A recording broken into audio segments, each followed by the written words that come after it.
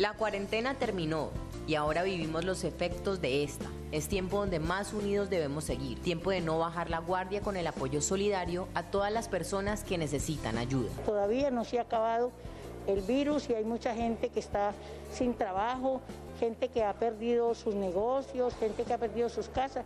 Entonces, que sean unas personas generosas para que podamos, tanto el Banco de Alimentos como nosotros que lo repartimos, podamos llegar a muchas partes de Cali. Unidos podemos más, no bajemos la guardia y sigamos adelante con esta hermosa campaña del Banco de Alimentos y Noticinco para que podamos llegar a las personas que más lo necesitan con ese apoyo, con esa solidaridad, con ese ese amor que se hace concreto en el apoyo a los más necesitados. Y es que son los mismos párrocos que ven la necesidad de las personas que llegan a pedir ayudas a sus iglesias. En el rostro de la gente ve la alegría, ve como el, sentirse apoyados porque la gente los, les colabore para que todo esté, eh, pues, por llevar las comidas a la casa.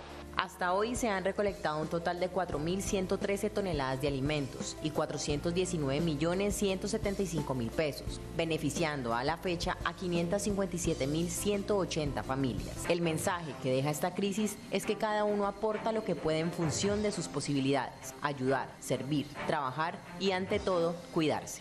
Unidos podemos más.